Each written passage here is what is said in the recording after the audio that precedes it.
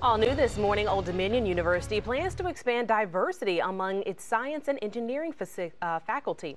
The university received a million dollar grant from the National Science Foundation.